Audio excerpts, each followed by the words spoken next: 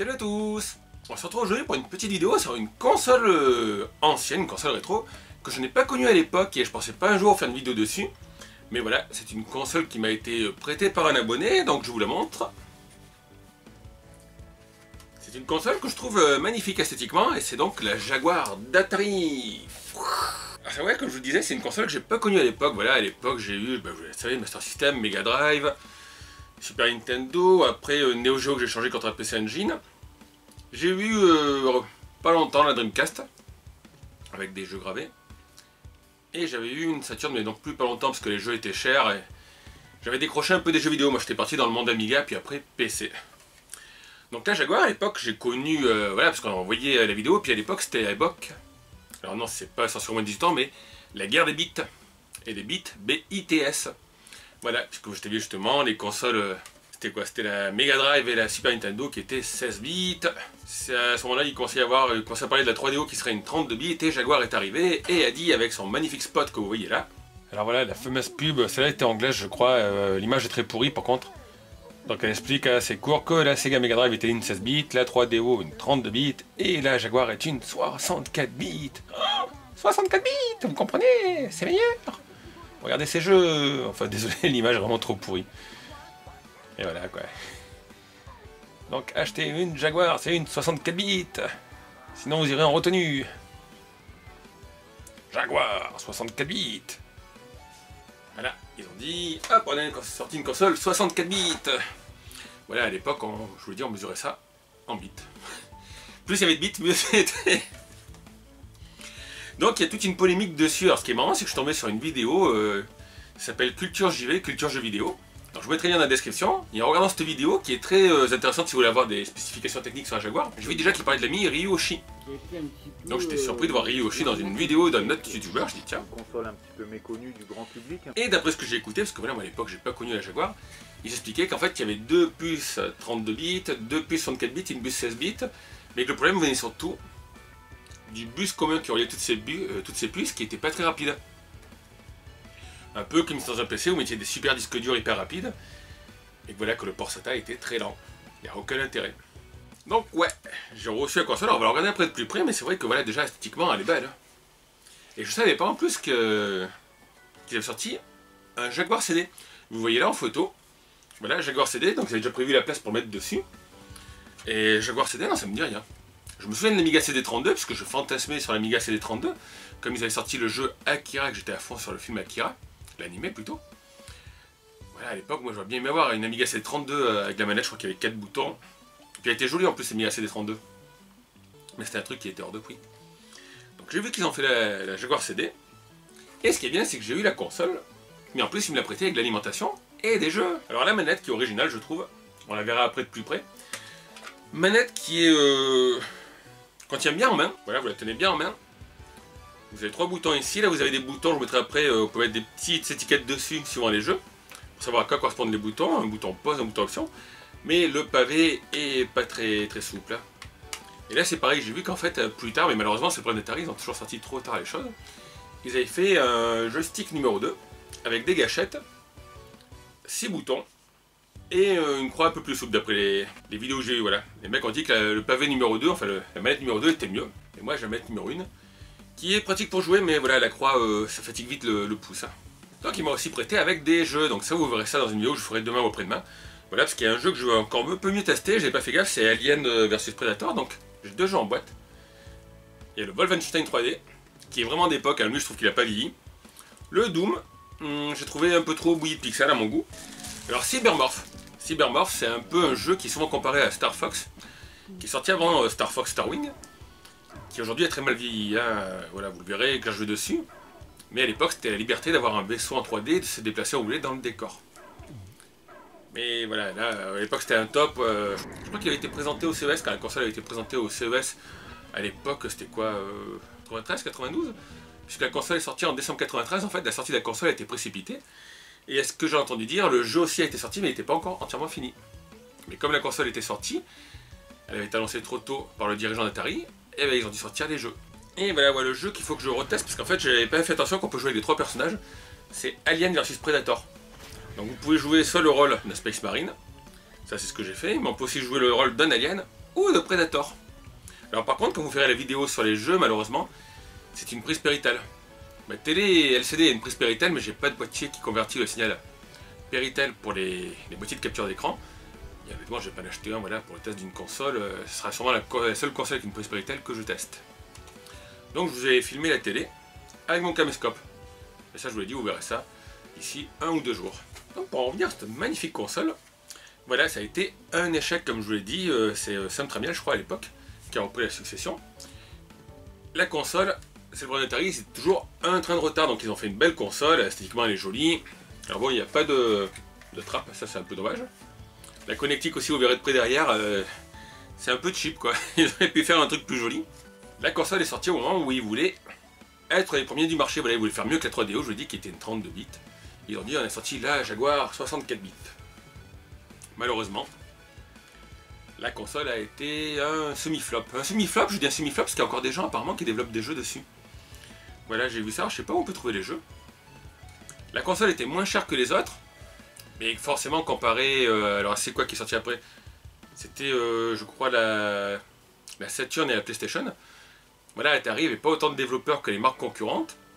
Apparemment, développer sur la Jaguar n'était pas évident parce qu'il y avait des bugs, dont une bug qui pouvait faire éteindre tous les processeurs de la machine. Et comme je vous l'ai dit, bah, la sortie de la console a été précipitée. Donc les jeux, comme je vous dis, il n'y a pas eu beaucoup de grands jeux, il n'y a pas eu de Street Fighter. Euh, il y a une sorte de Mortal Kombat qui est sorti dessus. Une sorte de Mario Kart aussi. D'ailleurs, ce que je vous propose, c'est de regarder voilà, quelques-uns des jeux qui ont été dans les meilleurs jeux de la Jaguar. Alors dans les jeux, ben, il y avait celui-là, c'était euh, World Soccer, euh, qui était sorti sur Super Nintendo. Et bien sûr, je vais faire un esprit dessus sur la version Amiga. Petit personnage avec son ballon de football. Après, il y avait euh, ce jeu Breakout, non, je crois, enfin le casse brick en 3D. Celui-là aussi avait l'air sympa. Je trouve euh, si ça marche en émulateur, mais je crois pas que ça tourne sur Recalbox et sur euh, RetroPie. Là, je vous dis, c'est une version, enfin une vidéo que j'ai récupérée, c'est sur Hyperspin, un émulateur pour PC. Sensible Soccer, il me semble. Voilà, petit jeu de foot.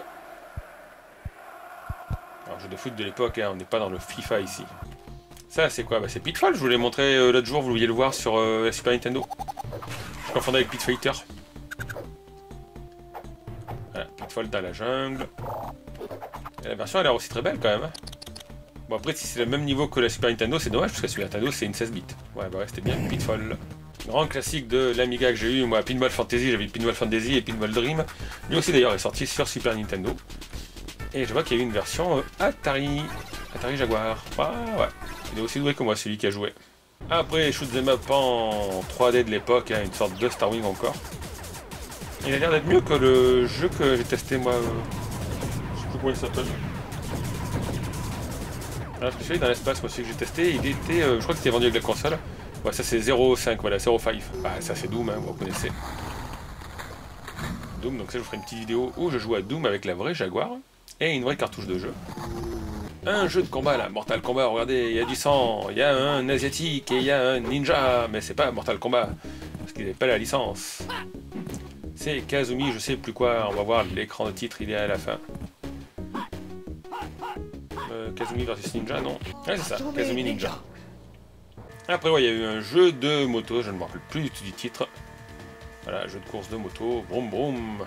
Oh, bah ça c'est quoi? Ah bah oui, Worms Worms, euh, jeu d'époque aussi. Voilà, jeu bien connu. Wolfenstein 3D, hein, qui lui, franchement, je trouve qu'il a pas trop vieilli. Voilà, lui aussi, je vais y jouer dessus avec la vraie Jaguar, j'ai déjà, joué dessus. Voilà, la musique est un peu pourrie, vous verrez, enfin un peu pourrie. La musique est un peu d'époque.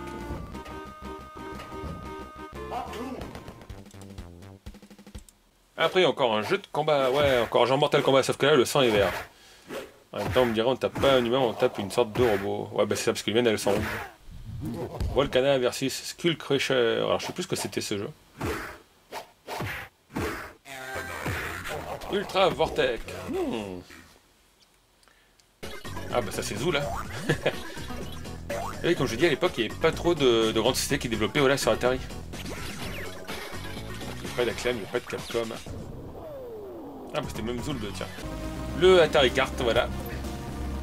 Il y a eu le Mario Kart, euh, et ben là il y a le Atari Kart pour la Atari. Donc ça, c'est quand même assez fluide. Et j'avais vu un test, apparemment c'était pas aussi fun que le vrai Mario Kart. Ah ben ça c'est pareil, je vais jouer dessus la vraie console et la vraie cartouche. Alien versus Predator, vous pouvez jouer l'Alien, le Predator ou un Marines, un US Marines. Ça c'est Cannon Fodder. Voilà, celui-là il est sorti sur à peu près toutes les consoles je crois. A votre petite troupe. Moyen de bien spécial, mais encore une fois là on dirait quand même que c'est un peu une version euh, console. Console 16 bits. Rayman. Voilà, Rayman, euh, je ne sais pas qu'il est sorti dessus. Il est aussi beau que les versions que j'ai déjà testées, bah, la version PlayStation d'ailleurs. allez, une petite photo Rayman, clic. Hop, merci. Et bien sûr, apparemment, une des meilleures adaptations, d'après ce que j'ai lu, euh, Raiden, le shoot'em up vertical. Voilà, ce serait une des meilleures adaptations de ce jeu sur console. Les graphismes sont plus fins et plus d'animation, je crois, dans le bas du décor. Puisqu'il y a une histoire de petites vaches qu'on voyait dans cette version et qu'on voyait pas dans la version euh, PC, il me semble. Ah, donc à côté de ces jeux, il y a aussi pas mal de flops, hein, malheureusement. Et comme je vous dis, bah, après voilà, est arrivé la PlayStation, euh, la console de Sega, et forcément, bah, les gens, ils ont pris les grosses licences. Hein, voilà, il n'y avait pas de jeu Capcom sur la Jaguar. Alors j'étais surpris de voir qu'il y avait Rayman sur la Jaguar. Ah, là, il y avait Pinball Fantasy, mais ça, on avait déjà sur Amiga. Mais les plus grosses licences, et eh ben voilà, Sonic c'était sur Sega, et les Mario c'était sur les consoles Nintendo. Puis est arrivé Sony avec sa PlayStation, l'époque des CD aussi. En plus c'était bien parce que les CD, voilà, ben, beaucoup de gens qui pouvaient les graver. Donc je pense que c'est ce qui a contribué un petit peu à couler euh, la Jaguar d'Atari, sans oublier que pour les, à l'époque où moi j'étais joueur de jeux vidéo, pour nous voilà, Atari c'était comme Amiga, c'était une sorte de PC. Quand on pensait à Amiga, on pensait à Atari, on pensait à clavier, ligne de code, démo maker, et les jeux comme ça une console de jeu, c'était Sega, Nintendo, PC Engine, Neo Geo, voilà, c'était ça. Donc je trouve dommage, parce que c'est vrai qu'esthétiquement, euh, moi j'aime bien quoi, déjà la couleur noire, les formats c'est douce, le Jaguar CD aussi, je vous le remets en photo, il est magnifique, ça doit bien dessus. Mais voilà, ça a été un échec, donc euh, c'est bien dommage. Alors maintenant vous avez vu qu'il y a des Kickstarter pour sortir des, sortes d'Atari euh, nouvelle génération. En tout cas, ouais, ben, je remercie encore euh, Yann qui m'a envoyé sa console. Et ce qu'on va faire maintenant aussi, c'est qu'on va la regarder de plus près quand même, que vous voyez à quoi elle ressemble de plus près, voir un peu mieux la manette, les cartouches de jeu, les boîtes des cartouches de jeu. Et l'originalité, je vous dis qu'il y avait sur les manettes de jeu. Puisque vous l'avez vu, la manette ressemble un peu à un clavier de téléphone. Vous avez la touche A, B, C, et puis vous avez plein de petites touches là. Donc on va regarder ça de plus près. A de suite les amis et voilà de plus près la console. Voilà, console, moi je vous dis que j'aime bien la forme futuriste, on dirait un vaisseau. À l'avant, vous voyez deux ports manettes, le logo Atari. Le logo Atari en surimpression ici, le logo Atari imprimé ici. Alors la lettre, je pensais qu'elle serait rouge, en fait elle est verte quand vous allumez la console. Donc c'est très simple, hein. la cartouche, bouton start, et ça marche. Donc par contre derrière de la console, voilà, c'est plus artistique, puisqu'en fait ici vous avez un port, je crois que c'était pour brancher les consoles en réseau, et là, c'est la prise Péritel. Donc ça me fait penser un peu euh, justement au Super Gun. Super Gun Arcade Karyoshi, où vous mettez une carte dessus et le câble Péritel, je vais vous le montrer. Ça fait longtemps que j'ai plus de Péritel. Le câble Péritel, je trouve qu'il est cheap, parce que là on a sorti Péritel. Mais en fait, c'est ça que vous branchez dans la console, il n'y a pas de détrompeur. Un sens ça marche, l'autre sens ça marche pas. Et la nappe, on dirait, pour ceux qui ont connu, une nappe IDE de disque dur. Voilà, euh, moi les câbles, les prises Péritel, euh, même à mon époque, c'était un câble noir rond, puis une prise euh, plus, plus sympa quoi qu'on branchait derrière. Donc là, je trouve dommage qu'ils aient pas fait voilà, un format de prise plus traditionnel. Donc la nappe est assez longue hein, pour le câble Péritel. Dieu merci, il y avait une prise Péritel sur ma télé LCD, une de mes deux télé LCD. Ici, vous branchez l'alimentation.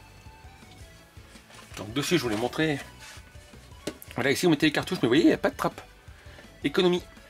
N'y a pas de trappe, donc du coup ça peut prendre de la poussière. Alors pour les cartouches, il y a un détrompeur, mais en même temps vous ne tromperez pas, puisque vous mettez le dessin devant vous. Voilà, la cartouche est un peu courte, on va la voir après. Et ici, ben, vous pouvez en ficher le, euh, le Jaguar CD, j'allais dire le Sega CD, par-dessus. Sous la console, c'est assez sobre. Jaguar. Voilà, il n'y a même pas l'année. Donc les consoles avaient été fabriquées, il me semble, par IBM. Californie, Atari, un numéro de série. Console, vous voyez, elle n'est pas très épaisse. Hein. Elle n'est pas épaisse, elle chauffe pas, elle fait pas trop de bruit. Donc la console est sympa, la cartouche, voilà les cartouches. Vous avez juste l'étiquette sur la cartouche ici, vous avez rien sur le dessus, sur le dessus s'arrondit. C'est sûrement plus pratique pour retirer le jeu ou pour le mettre. Alors par contre, si vous jouez comme moi, j'ai joué, euh, faites ça, j'étais en haut et devant mon lit, il faut faire attention à mettre la main sous la console comme était la cartouche, pour pas que ça appuie derrière sur le, la sortie péritelle, quoi. Il ne faudrait pas casser ça. Sur une table, ça va, la console ne bougera pas. Vous mettez la cartouche ici si vous n'avez pas le lecteur de CD. Et devant le joypad. Le joypad que voici. Donc la prise... euh, prise marquée Atari aussi.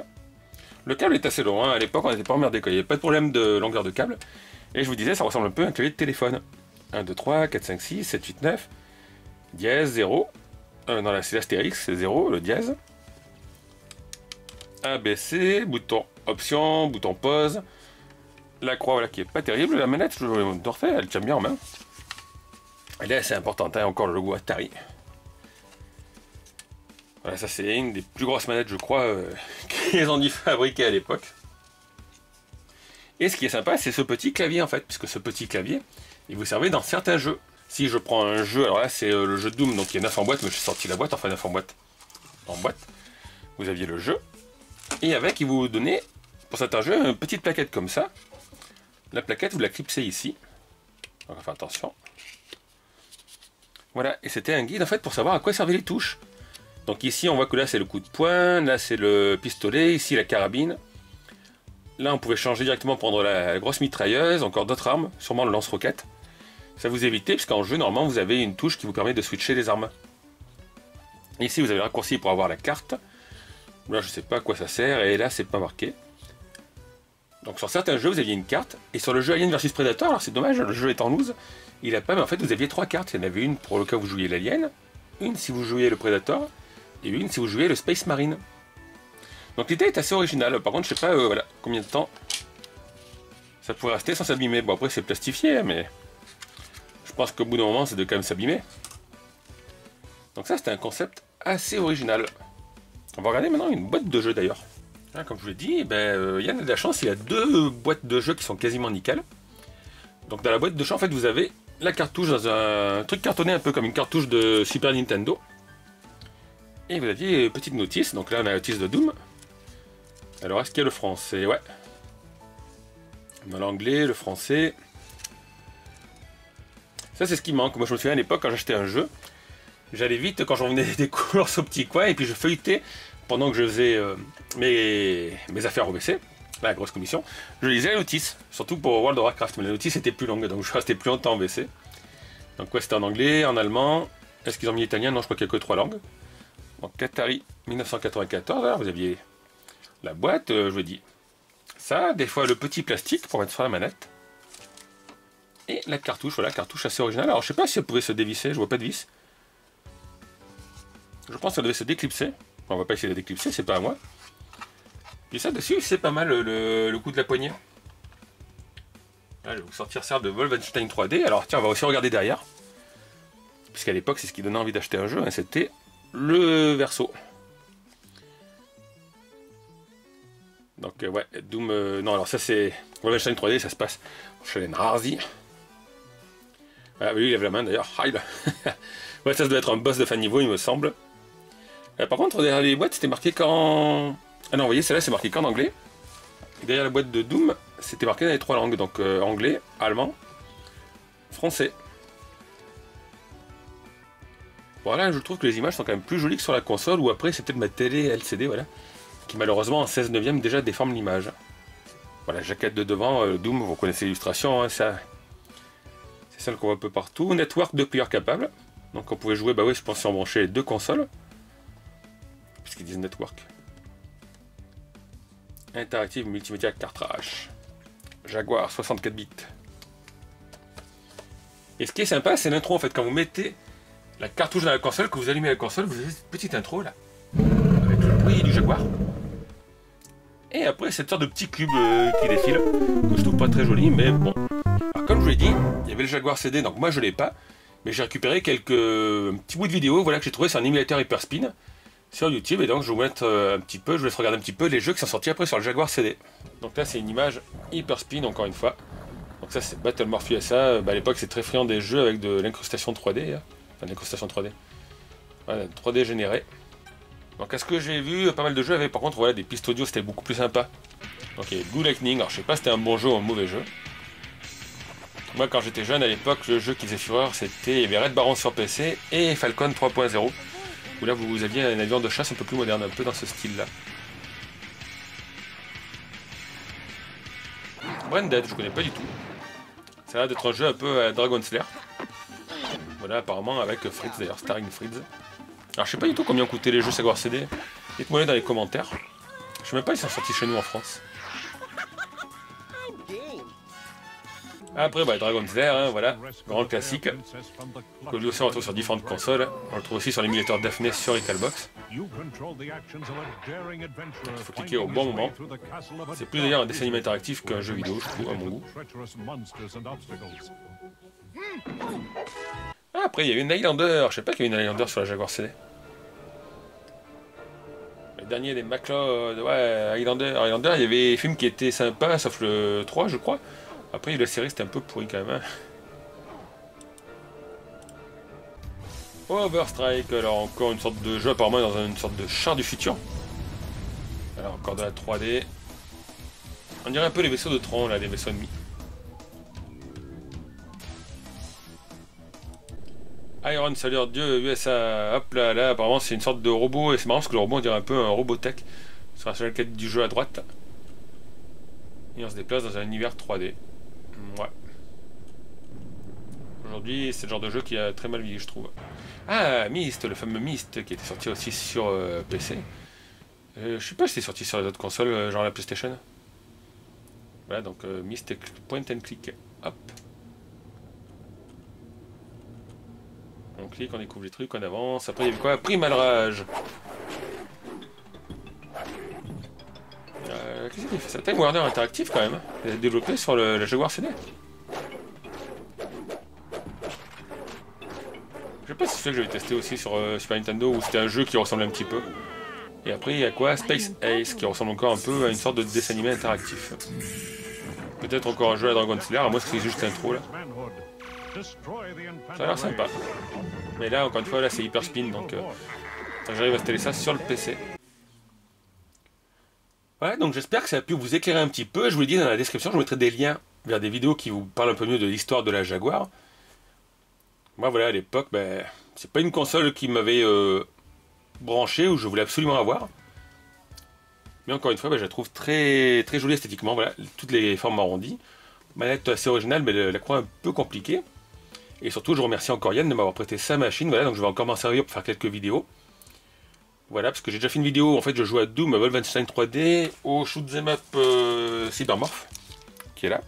Alors moi, je voulais vous dire aussi, à chaque fois, les jeux étaient enveloppés de ce petit plastique-là, dans la boîte. Donc lui est assez usé et lui est en meilleur état. Et surtout, la ligne versus Predator, il faut que je joue, enfin que je joue, le jeu a l'air un peu dur, que j'essaye les deux autres personnages, le Predator et l'Alien. Donc encore une fois, ben, merci à toi Yann, je te renverrai ça très bientôt, je prendrai bien soin de ta machine. N'hésitez pas à me dire ce que vous pensez de cette console, si vous l'avez connue. Voilà, peut-être que Ryoshi verra la vidéo et qu'il nous donnera son avis. Je sais, je vous ai dit qu'il y avait eu beaucoup d'histoires sur les vrais ou pas vrais 64 bits. Mais c'est quand même dommage que la console ait fait flop, parce que je trouve voilà, qu'elle été, euh, sympa.